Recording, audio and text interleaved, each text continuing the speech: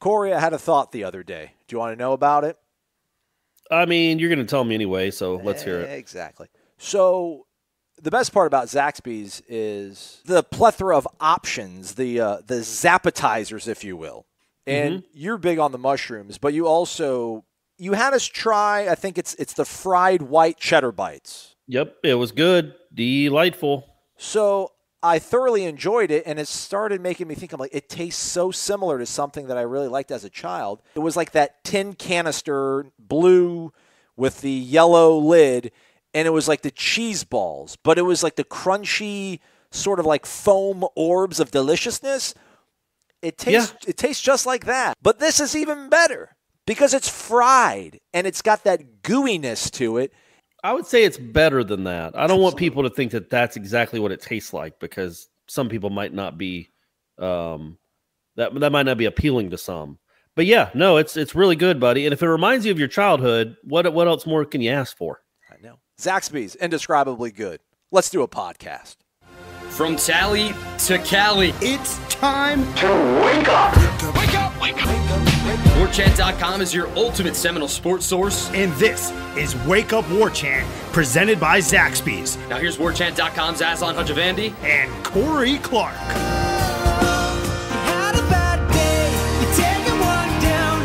Wake up! What up, everybody? It's Wake Up War Chant, presented by Zaxby's. I'm Aslan. Corey's here as well. If you could, please subscribe to this podcast, rate and review it on iTunes. A lot of folks, Corey, don't, you know, I think for some folks, podcasts sound a little intimidating. Uh, I don't some people go onto War Chant and listen to us straight from there. Some people go to Podbean or SoundCloud. Folks, if you've got like a mobile device, like a phone, just download a podcast app.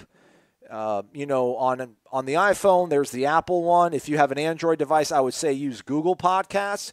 Go on there, search us, search Seminole Headlines, search Murder Mysteries, whatever you like, and then you just subscribe to it. And then every single time a show is published, like ours, on a daily basis, most of the time, but I traveled the other day, it's automatically there in your phone. You can even set it to where it'll it'll automatically delete it after uh, you listen to it, so it doesn't take up a bunch of space on your phone, and then it's right there. You don't have to worry about anything. So, how do you usually how do you digest your podcast, Corey, that you listen to? Because you're a big podcast guy, because you're always on the road driving. Yeah, most of the time it's when I'm driving Yeah. because I'm. I mean, it's usually, especially this time of the year, I'm in the car ten to fifteen hours a week. Uh, so yeah, that's a lot of podcast listening, my man. Yeah, but what do you do? Like, do you have an app and then you just search for them on the app, or do you like go to their website on your mobile device? Oh no, I definitely go to the. I just do the uh, the iPhone app. okay, all right. So yeah, do that, folks. Get get. I'm not uh, an animal. Yeah, it'll be there waiting for you every single day. Uh, day one has come and gone for Florida State at IMG Academy. They'll be here for two more days. They'll be here Wednesday as you're listening to this, and Thursday they'll uh, they'll shut her down or whatever. So. Uh, started the uh, the podcast off with had a bad day, Corey. You can't win every day in preseason. It was one of the more discouraging days. Discouraging sounds a little too dramatic. It is one day after all. I don't want to get too much into it, but the limited time that we were out there to watch it, us as the media, there wasn't a lot to feel good about. It seems like pretty much every single segment I was around, something went wrong to, to draw the ire of either the, the coach running the segment or a player, a leader on that sort of side of the ball. And I don't know how much of that is just the fact that they got in a bus and drove like five hours to come down here and then wake up pretty early in the morning again and get out at practice and they're in a new place they're not in their usual locker room and i like the sort of i like the idea of training camp being on the road for like a like an nfl team. You open up to the to the fan base. It becomes like a parade a festival almost. Uh, but you're still getting some some serious work done. You know, ultimately, I don't know how many people involved with this program will be too bummed out when this thing ends up, you know, running its course. Uh, but after one day, it seems that they probably would have got some better work in in Tallahassee. Let me just kind of rattle off a couple things, uh, so I'm not just uh, simply speculating. Just things I saw. Several drops by the wide receivers against air. You know, not even one on one, just just running routes against air and dropping the ball. Uh, there was a defensive lineman who I think a lot of people would consider uh, a leader on that unit, saying, as I, I could hear him yelling as I was on the other side of the field, so I started walking over there. And he said, "quote You can't walk in my shoes if you ain't gonna buy in. You got to take your blank somewhere else." And then someone immediately said, "Yeah, yeah, let's buy in, y'all." And then Odell kind of calmed him down and brought everybody together and was like, "All right, guys, we need to we need to put in some work here. It's not just not just about doing work; it's about doing things right and, and learning." Uh, Mark Snyder was not particularly pleased with a certain player's effort during uh, one-on-one drills when they're going up against the uh, H-back tight ends. Uh, Donte Pimpleton, very animated, very animated while he was criticizing one of the running backs after dropping a, a ball or not running the right route out of the backfield. And then the offensive line, they were practicing sort of uh, dummy counts, you know, dummy snap counts, and I saw the reserves go offsides or, or false start jump twice and uh, Ira actually, and I was like, it's the reserves, it's okay. And then Ira was like, actually, he's like, you know, before you got here, the first team jumped off sides, something like, or false started twice. And then one of the guys who actually was like, come on, y'all, let's get on it, actually ended up false starting the next uh, snap. So uh, I guess maybe that reminds me that this offensive line still has a ways to go. But again, it's just one day, it's 25 minutes, and they're in foreign territory practicing at a place that they don't call home. Yeah. Um, and what what is it that like uh, you, you saw probably twelve percent of practice or thirteen percent of practice probably they they had plenty yeah. of chance after after you guys left to pick it up.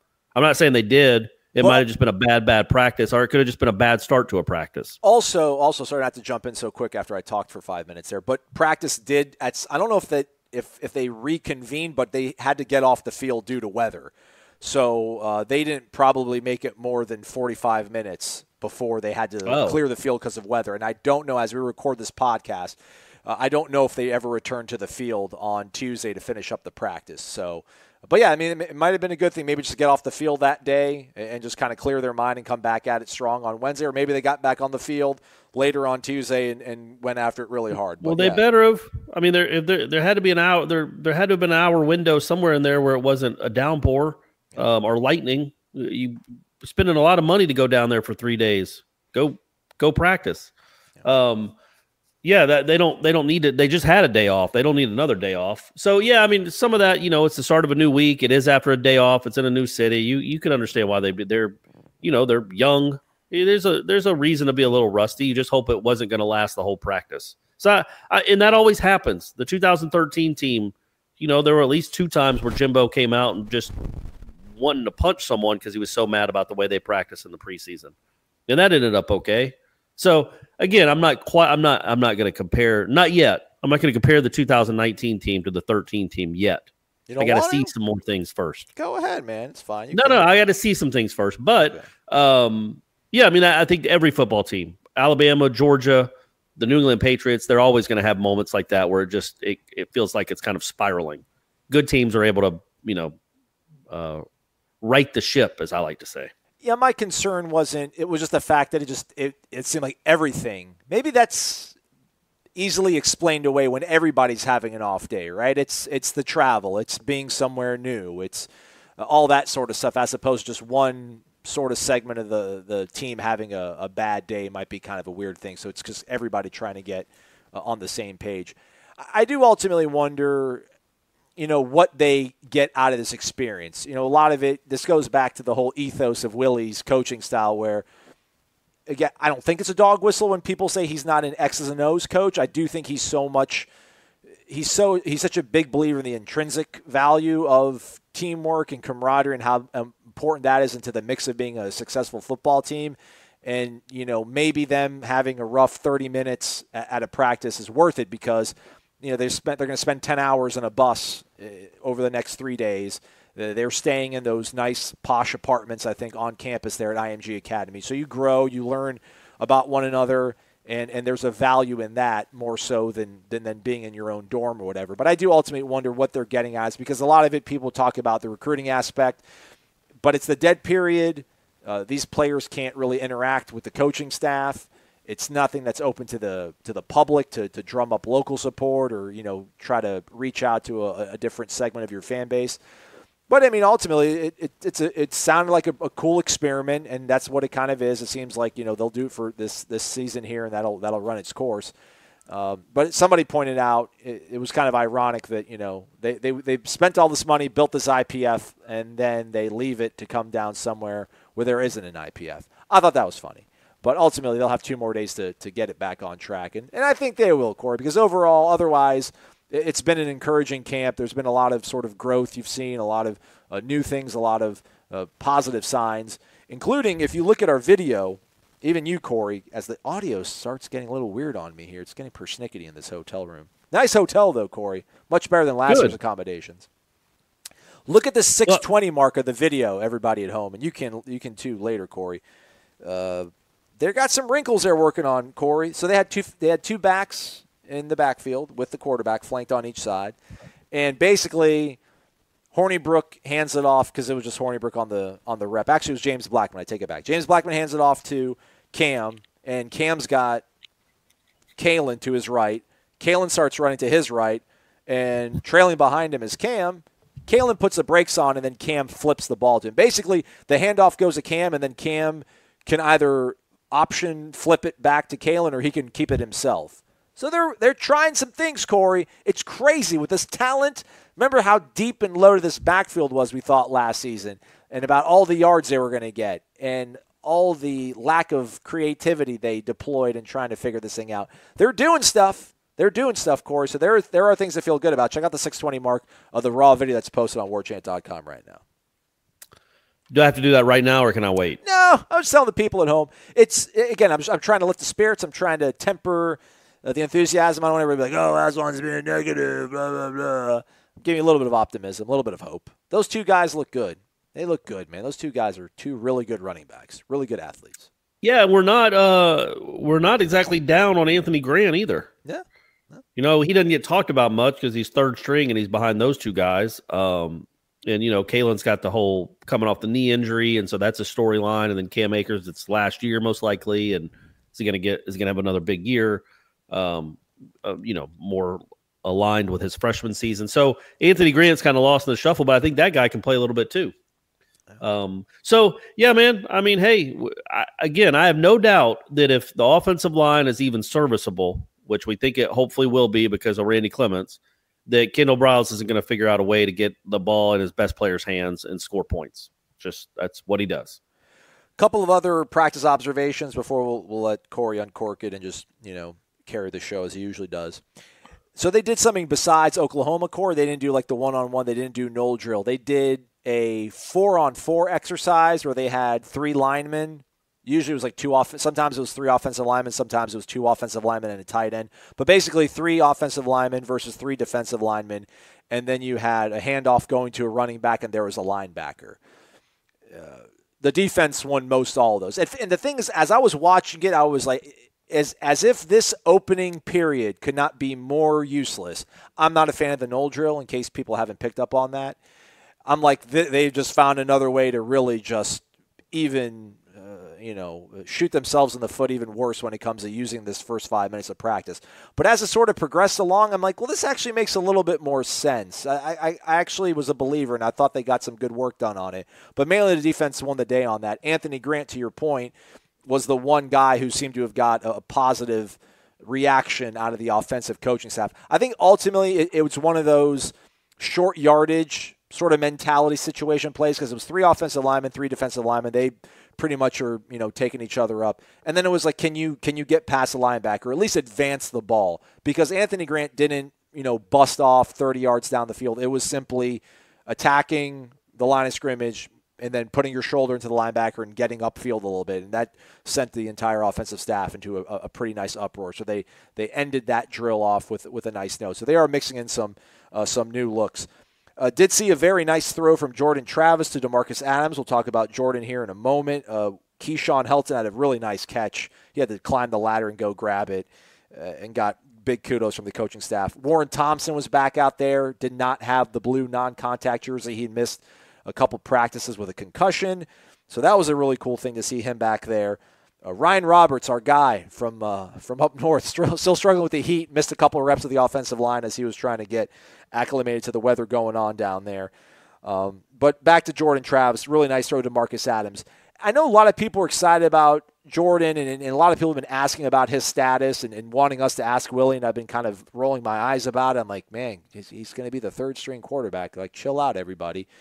Um, I, do wonder if there's any point in the season where maybe he is the primary backup. He he continues to look better every single time we see him at practice. And I don't know if he's got the same velocity as James Blackman. I don't think he does. But I remember those first few practices in the spring and thinking, okay, well, this is probably why Louisville – uh, you know, didn't stand in front of the door when he wanted to leave.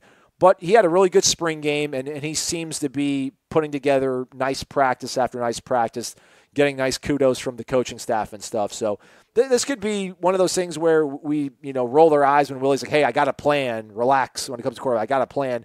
Eh, you know, maybe he'll end up being a, a solid contributor and maybe spot duty guy for another season or two, and eventually being a starting quarterback. But he got his waiver approved finally on when did we find that out? Was it on Sunday or was it on Monday, Corey? Monday, buddy. Monday. Monday. So we found out on Monday. We were able to speak to him and Willie on Tuesday. Uh, you wrote a nice little story, kind of uh, summing everything up with some quotes from James and uh, Willie Taggart and Jordan Travis. He's he's going to be a he's going to be a definitely. I don't want to say insurance policy. That feels like you're really selling a guy short. Jordan Travis is a good football player, and he's going to be eligible immediately for Florida State. That's a win. Yeah, absolutely. Um, and again, there's no there there's no guarantee that he's going to play a snap. But in this, you know, most college football teams don't have three quarterbacks anymore. Three legitimate Division One quarterbacks, and Florida State does now. Jordan Travis is, I would say, you'd put him in the middle between Hornibrook and Blackman as far as arm strength, and he's faster than both of them. Like he's a better runner than both of them. That doesn't mean he's going to, eh, you know, ever start a game. It doesn't mean he's going to ever start a game here, period, much less this season. But yeah, man, I, I, think an insurance policy is a great way to, to describe him. For this year, he's a redshirt freshman, and he's behind two guys that have started full seasons in college football. So nobody's expecting him to win the job, but things happen. Uh, you know, who knows?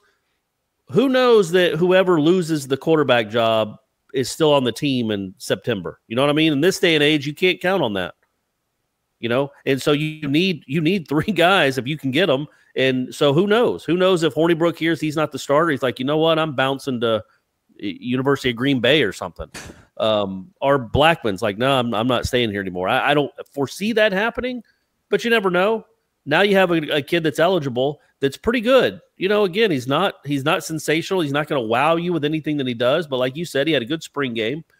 Um, he seems like a great kid. He comes from great stock because again, Devin Travis is like the nicest person that's ever gone to Florida State University, um, and that's his brother. So you know, it certainly doesn't hurt. There's no there's no harm in having him eligible for 2019. I don't foresee it having a huge impact on the actual season, but just for a peace of mind and for death purposes, yeah, man, that's a good thing to have. And and moving forward, he's got four years to play for. So again, I don't think, and I, the thing about him is he's not the kind of kid, and this isn't a shot at him, but he's not the kind of kid that's going to scare away quarterback recruits. But he is the kind of kid that they're going to have to come in and beat. They're going to have to compete with him. They, they're, I don't think a, a true freshman is going to be able to come in in 2021, say, and just say, "All right, well, I'm definitely beating out Jordan Travis for backup to Jeff Sims, or I'm going to be the I'm going to be the starting quarterback." This kid will make them work for it um, even if he ends up just being a program quarterback and not necessarily ever being a starter. I started to think that, makes sense. Yeah, no, for sure, for sure, Corey. Right. Uh, you know, because uh, again, I was just thinking about how because every single day people are asking about it, and and once we posted the news on War Chant, it, it became like a four page thread. I'm like, good grief! Like everyone's this this excited about a third string quarterback. I mean, I wouldn't be surprised to see him. You know, he'll, he'll push Alex, and Alex is pushing James. They're all pushing one another. But I mean, just think about, and people might want to laugh at this, but just think about the Peach Bowl. You know, whatever three, four years ago. You know, Everett Golson was a starting quarterback going to that season, and then he checks out on the team. Sean Maguire starts that game and starts most of uh, the, the, last three, four games of that year. But he gets hurt. J.J. Cosentino has to come in, and obviously the offense doesn't move there, there could be a situation where a guy like James goes down, or say Alex gets a, a, concussion filling in for him. I mean, what's to say that doesn't happen? And then you find yourself having to play a third string quarterback. Well, the fact that he's immediately eligible, he becomes an option. And I, I think, you know, especially when you're talking, everything is relative in this life. I mean, you talk about a third string quarterback, there's, you, you can't do a lot better, I want to think, than a guy like Jordan Travis, uh, judging by what he's done so far. And it seems he got. You talk about the good stock he comes from, and just a, a really, you know, got his head on right. You know, talk, the first thing he wanted to thank was the people in compliance at FSU uh, for helping him get the, uh, the, the waiver and everything. He talked about this is obviously his dream school. So uh, Willie's talked about guys that want to be there. That's a kid who wants to be there, here, there, wherever you want to say. So that, that's a, it's it's a shot in the arm, man. Definitely a good thing that he's back. It, he's and you know, remember last year? I don't know. I imagine maybe uh, Clemson still makes it, but the way the ACC is perceived, if their third string quarterback didn't come in and win that game against was it Syracuse? Yeah, yeah. When uh, Kelly Bryant bailed that yep. week, and uh, Trevor Lawrence gets hurt, and then all of a sudden they're left with a third string quarterback. Now, if that had been a walk on, a kid that just was, uh, you know, there for the scout team, Clemson loses that game, and we don't know if they ever if they make the national championship game. They, we don't even know if they make the playoffs mm-hmm. because if they would have been eleven and one or whatever, and they'd have won the quote unquote uh, terrible ACC. So, you know, f- you know, the, having a third string quarterback can come in handy. By the way, are we ever going to get Kelly Bryant that championship ring? Well, let's talk. Can we talk about that for 10 minutes? I want to talk about it for at least two minutes. Hold on thought. Let's take a quick break. Second half of the show is brought to you by Birch Orthodontics. For nearly 20 years, Birch Orthodontics has been providing world class orthodontic care right here in Tallahassee. And they've been doing it with the kind of down home customer service that keeps all of their clients smiling. Whether you or your loved one needs braces or Invisalign treatments, Dr. Heather Birch and her staff are trained in all of the latest techniques. And the best part is, they'll include you in every step of the decision making process. They'll work with you to craft the perfect treatment plan and payment options to suit your needs. So if you're looking for family friendly orthodontic care in a comfortable, stress free environment, Birch Orthodontics isn't just your best choice, it's your only choice. Visit www.birchorthodontics.com. That's B U R C H orthodontics.com for more information and to set up your free consultation today. Or you can call the office directly at 850 877 1692. 850 877 1692. Apparently, and, listen, I'm I'm so guilty of it, and it's it's a terrible thing, and I need to get better at it. I read headlines a lot, and I don't read the actual stories unless it's published by Ira Schoffel or Corey Clark on the byline. But but apparently, so this whole thing, if you guys don't know, and, and ladies listening to this, uh, Kelly Bryant is not is, it, did not get a championship ring from this national title that Clemson just won. And it's been a, a, talk of a lot of. I mean, Finebaum was talking about it. Finebaum used it as a way to talk about how he doesn't like Dabo Swinney, and he used to, but people change, and he thinks that you know with this big mega contract and everybody telling him how good he is, Dabo's changed. Crazy. But apparently, like, Kelly Bryant didn't even want a ring. This, like, I thought this was like Kelly Bryant. The, the way it's been framed, it's like Kelly Bryant got slighted, or Kelly Bryant maybe tweeted, or his feelings are hurt that he didn't get a championship ring. But apparently, Kelly Bryant never made a fuss about this. So, like, why are we talking about it? And not we, you and I, but the the royal we, as you say. I think he brought it up initially. Oh, did he? But okay. didn't say one way or the other. Hey, man, I feel this is a this is a travesty. Give me my ring. We want we beat Texas A&M because of me. But at the end of the day, he decided he didn't want to play on that team anymore. They almost lost a game that cost them a national title. Like he literally wasn't on the field. He was still in the he might have been in his dorm room watching the game because it was literally 4 days after he just quit. Well, apparently without telling anyone that he was going to quit.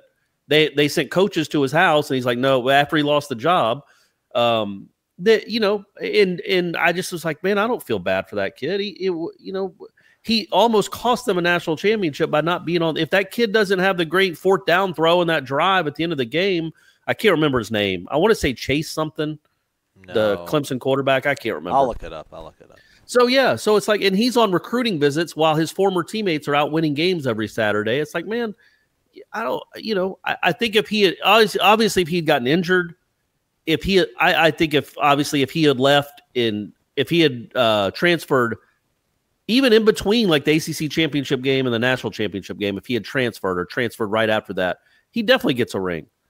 Uh, but you know what? Jacob Coker stuck around, man. He knew he was leaving. He still stuck around that season in 2013. I don't know, and I but I wouldn't have a problem either way. Honestly, give him a ring. Who cares? Really, who cares? Uh, I just think that it's different than the normal circumstances of people getting rings because he legit quit on his. Uh, you know, I in my opinion, he quit on his team because he was like, "Oh, you need a second string quarterback in case Trevor gets hurt against Syracuse. Sorry, use the guy that never plays. I'm gonna be in my dorm room watching it, or I might be on a recruiting trip." Now where's my ring? And at the same, I get it because he was a senior, and he wanted his last. He didn't want to spend his last year, his last eight games on the bench.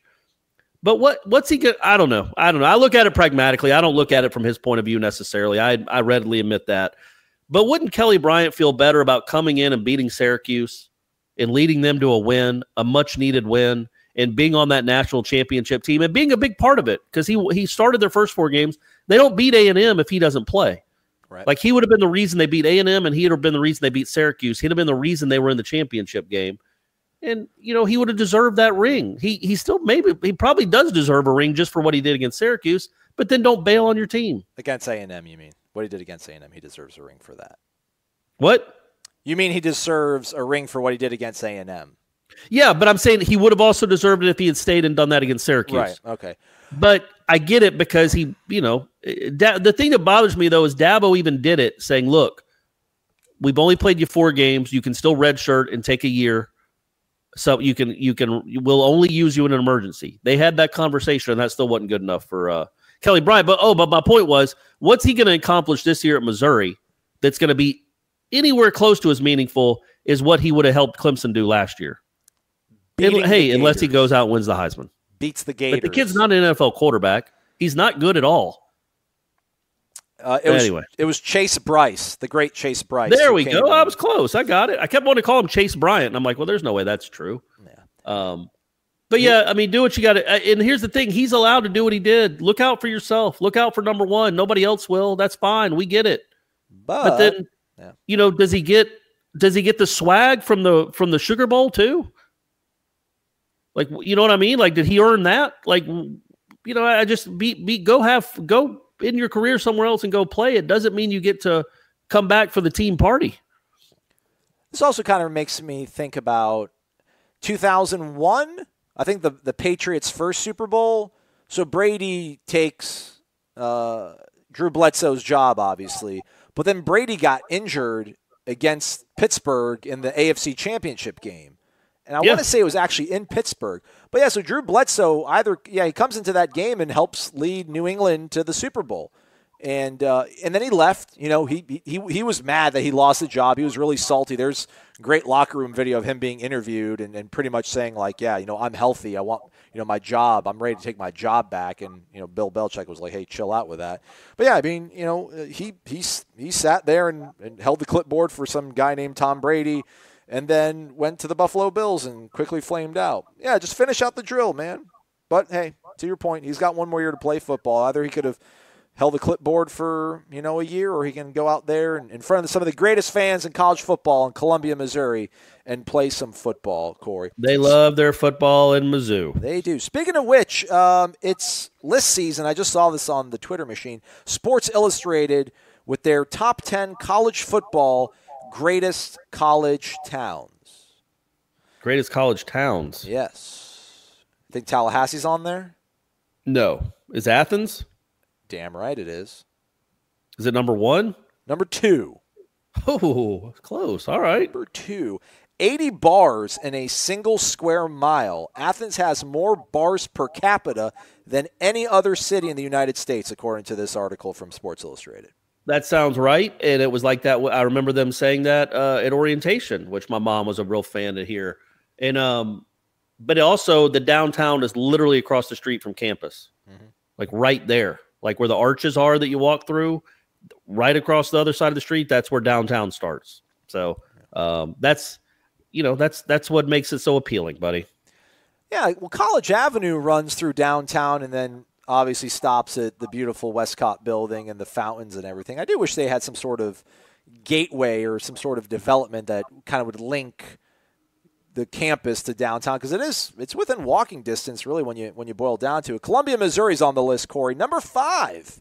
So Clemson's not on this list. So Kelly Bryant gets a kick it at the number five uh, greatest college town. Number ten is Charlottesville, UVA. Number nine, uh, the city that Jimbo built, College Station, Texas.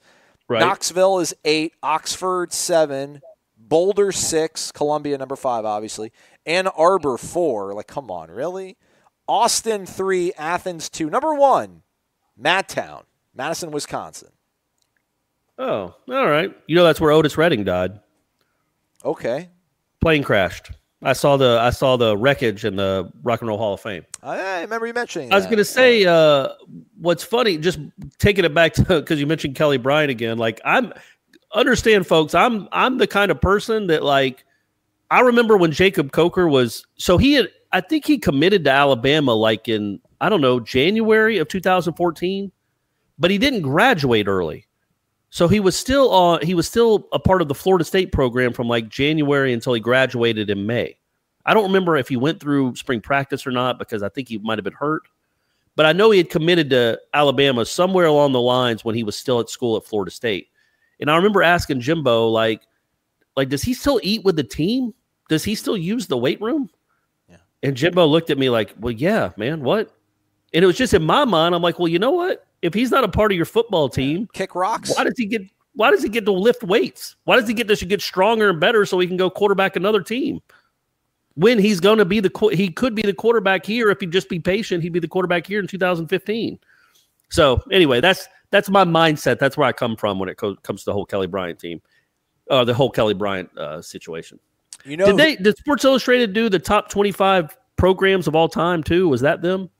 maybe I don't have it here. Um, I can pull up maybe on my phone. I don't want to pull up on my computer because it's getting a little uh, froggy here uh, as we're recording our podcast, Wake Up War Chant, presented by Zaxby's. Top 25 college programs, college football programs. Yeah, I just saw it on Twitter um, a, a couple for for the last couple days, and it um, the list that they went Oh, with we incorporated like all I 150 years of college football history. I see it throughout the 150 year history. Here we go. There's 10 of them. Yeah. Uh oh. Uh oh. Yeah, we're not. Oh. Do we want to talk about this? well, it's uh, Everybody's going to get upset. Okay. well the whole Florida State's whole not on it, everybody. Florida State's not on 150 it. years. Right. But, I mean, Tennessee's on this list? Yeah, That's the only one I take umbrage with. So the list, everybody, if you don't know, and we will wrap up the show after this probably. Oklahoma's 10. I don't have a problem with that. Tennessee at number nine. I have a problem with that. Penn State at eight. I don't know, man. I kind of have a problem with that too. Nebraska seven. I don't. Notre Dame number six. I do not. Southern Cal number five. I guess no, no. I don't. You know, Texas four. Michigan three, Ohio State two, Alabama one. Man, if Ohio State would have never hired Jim Tressel, I think Ohio State would have just faded into oblivion. But I don't he- know what that because it's such a big school and it's such it's so uh, football crazed. They would have gotten it right eventually. I. Um, I think I, I personally think they would have gotten it right eventually. But yeah, you know, um, Jim Tressel really helped. I just but Florida State had the a problem run. with that Go ahead. um, is again, and and I saw people posting this on Twitter, so I'm not the only one that has this sentiment. But I'm not. I don't care what you did pre-integration. I just don't.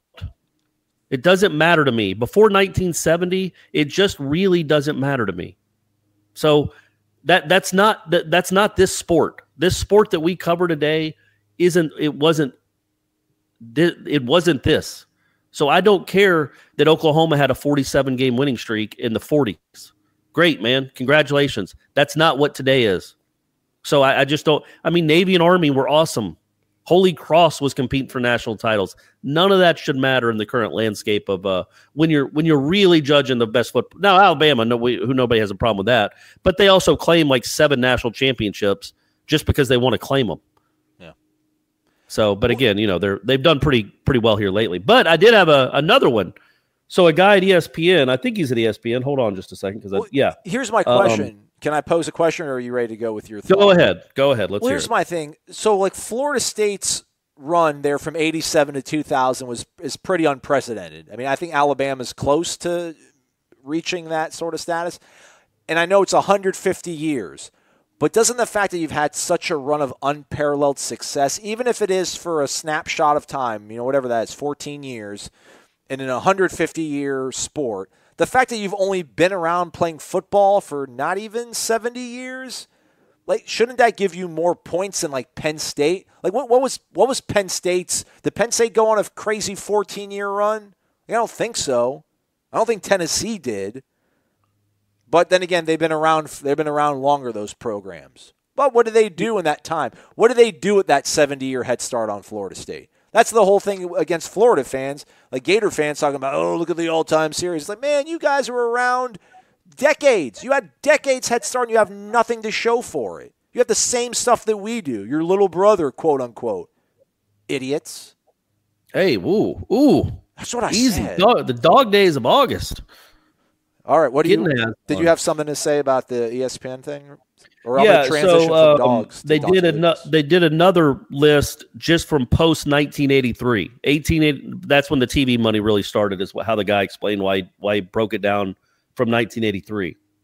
In the top five since 1983, top five programs in the country using whatever metrics they were using for this was Alabama five, Miami four, Ohio State three, Florida two, and Florida State won. Woo. So we did it, gang. We did it. But I mean, that's that's fair. You know what I mean? I, I don't understand Tennessee. I don't. I, maybe I, I guess I don't know enough about their history. Maybe uh, Neyland or whoever it was was a, a wonderful leader of white football players, um, and we should show the proper respect. But I, I just don't care. I don't care. I don't care about Knute Rockne. I know he was good, great for the game, and I apparently that was a good movie. Um, Ronald Reagan was in it. But yeah, don't care. Don't care about you coaching white football players against other white football players and excluding a, a huge section of the population of this country. And I just so I don't get I don't get worked up by it. Same thing with you, Cy Young, with your 511 wins. Who cares, buddy? Who cares? You weren't having to pitch to Ronald Acuna. I can promise you that. baseball. You can't even compare it anymore. I mean, it's it's incredible. Um, I don't have a good segue to go to this, but you did a you, you wrote a really good story on Dontae Lucas. And, Thanks, buddy. Um, you know, I think part of it, the, the crux of it, is the fact that this is talking season. We just talked about lists for 20 minutes. Sorry, I just moved and my audio went all weird. We just spent 20 minutes talking about lists because it's talking season, and a lot of players are talking and complimenting Dontae Lucas. And I don't know how much of it, again, is a relative thing because he's a true freshman, but I think your point in your story is that it, it's time to take notice. One of the, the cool things about being a fan, probably, and, and the reason you subscribe to War Chant to get the insight from Ira and Corey and Gene and Michael, maybe to a lesser extent myself, is that you want to know kind of what's going on before things start. I just always think about how much more fun would have 2013 been for me if I would have known what was about to happen. But then maybe part of it was fun because it was a surprise. But I kind of would have liked to know that Jameis Winston really was going to be this badass, transcendent talent. That would have been really cool. But it's time to get on board with with looking at Dontae Lucas. 55 is going to have an impact sooner than later with this program. It seems like, in your opinion, Corey.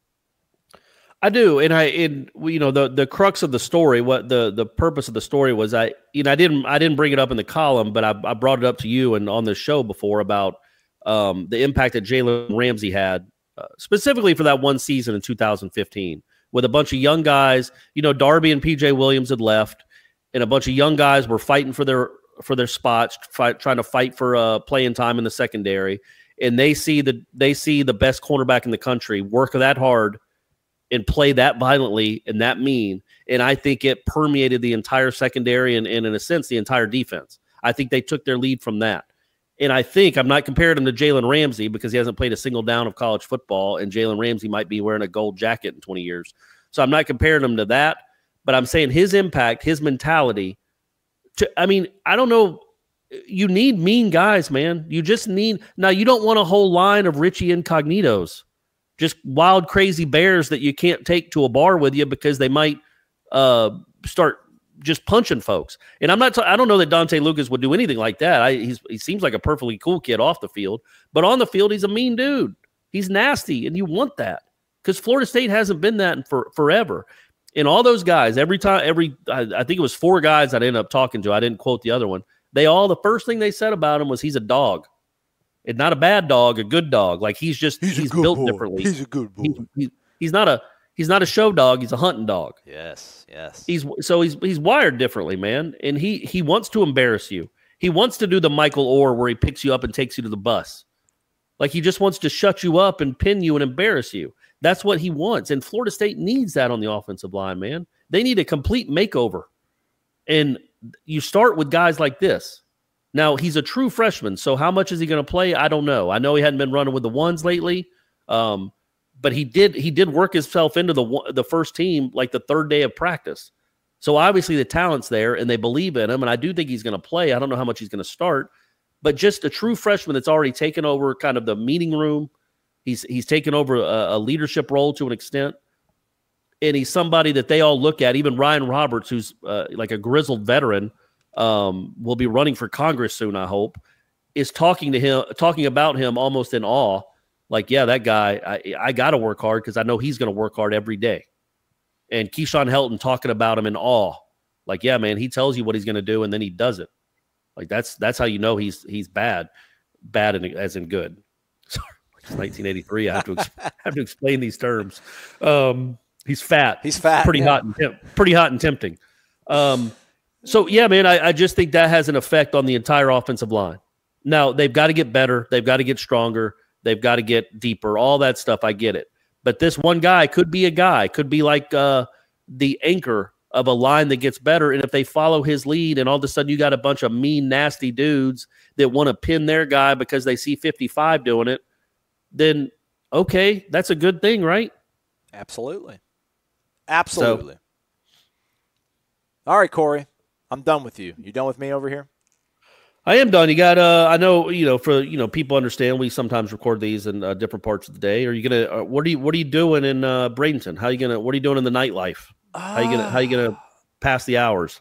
I don't know yet. Maybe I'll go check out Siesta Key. See, maybe I'll go check out the sunset at Siesta Key. You know, just by myself, get a Miami Vice, just kind of a little Tinder Tuesday. What about a little Tinder Tuesday? I'm firing it up. We're doing a little swipe life right now. We're seeing what's out there. I'm t- again, it's just it's such a cruel world, man. Because I come to these towns and I match with, and again, it's just matching with them, and you know they still got to message you on Bumble, and they do mostly but it's just messaging them. Doesn't mean necessarily that you know they think you're the best thing ever. But I come to these towns and I match with these absolutely gorgeous women, and then I come back to Tallahassee and I'm just Steve Buscemi. I just can't. I can't even. I can't do anything with a fistful of fifties. I can't even get anybody's attention. I think Buscemi does all right. Probably. I don't know. Anyhow, actor, famous actor. He also was a fireman before he became an actor, so he's got that hero element too. I did not know that. I think he does all right. Okay. Well, folks, check out warchant.com. Uh, Ira's got a nice little wrap up of practice, maybe in a more palatable, optimistic tone than what you heard in the first eight minutes or so of this program. Uh, we will be back at practice on Wednesday. More video will be posted. Corey and I will be back with a podcast for you folks on Thursday. Might do Renegade Express Thursday, or we might push it to Friday, but do leave your questions over on the Tribal Council on warchant.com. Use the promo code WARCHANT30. Actually, I think if you use the promo code Adidas, I think you still can get 25% off an annual membership and a $75 e card to adidas.com. And um, who doesn't want free stuff? So check that out. Go to warchant.com for more details on that. Corey, thanks for hanging out. Hey, thank you, buddy. I appreciate it. You. Just thank you for being you, Corey. I don't know what I would do without you. You'd be a lot sadder. We'll be back tomorrow. Have a great one, everybody. Unlike fanny packs, bowl cuts, and troll dolls, the sensation is back, only at Zaxby's. The sensation salad and the new sensation filet sandwich features hand-breaded chicken, Asian slaw, wonton strips, and citrus vinaigrette, and both are served with an egg roll. The sensation salad and the new sensation filet sandwich meal for a limited time only at Zaxby's. And skip the line when you order ahead on the Zaxby's app or on Zaxby's.com.